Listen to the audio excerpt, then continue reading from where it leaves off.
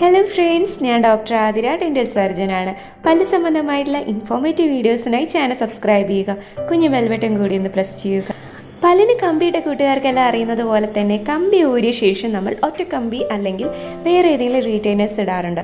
ഇവിടെ ഞാൻ പറയുന്നത് ഒറ്റ കമ്പിയുടെ കമ്പി ഭാഗമോ അല്ലെങ്കിൽ ഉള്ളിലുള്ള പ്ലാസ്റ്റിക് ഭാഗമോ പൊട്ടിക്കഴിഞ്ഞാൽ നമുക്ക് അതേ ഒറ്റ കമ്പി ഉപയോഗിക്കാനാവുമോ? ഇത് നമുക്ക് അതുപോലെ തന്നെ ഉപയോഗിക്കാനാവും. അതിന് നിങ്ങൾ ചെയ്യേണ്ട ഒരു കാര്യം ഇത് പൊട്ടിക്കഴിഞ്ഞ ഉടനെ തന്നെ ഇത് വെള്ളത്തിലായിരിക്കണം ഇട്ട് വെക്കേണ്ടത്. ഒരിക്കലും ഇത് പുറത്ത് ഡ്രൈ ആവാൻ വിടരുത്. അങ്ങനെ ചെയ്തു കഴിഞ്ഞാൽ അളവ് മാറാനുള്ളൊരു സാഹചര്യം ഉണ്ടാവുന്നു. മിക്ക സാഹചര്യങ്ങളിലും ഇതുപോലെ പൊട്ടിയ കമ്പികളും പൊട്ടിയ റീറ്റെയിനറും നമുക്ക് റിപ്പയർ ചെയ്ത് റെഡിയാക്കാനാവുന്നതാണ്. അതിനുവേണ്ടി നിങ്ങൾ ഏതെങ്കിലും ഒരു ഡെന്റൽ ക്ലിനിക്കിൽ പോവുക അളവെടുക്കുക അത് ഉപയോഗിച്ച് നമുക്ക് റീറ്റെയിനർ ശരിയാക്കാനാവുന്നതാണ്. എന്നാൽ ചില സാഹചര്യങ്ങളിൽ ഇത് ഡ്രൈ ആയി അളവ് മാറിയെങ്കിൽ പുതിയ റീറ്റൈനർ തന്നെ നിർമ്മിക്കേണ്ടതിരിക്കുന്നു. അപ്പോൾ ഈ വീഡിയോ നിങ്ങൾക്ക് ഉപകാരപ്പെട്ടുവെങ്കിൽ ഫാമിലി ഫ്രണ്ട്സായിട്ടൊക്കെ ഷെയർ ചെയ്യുക. Thank for watching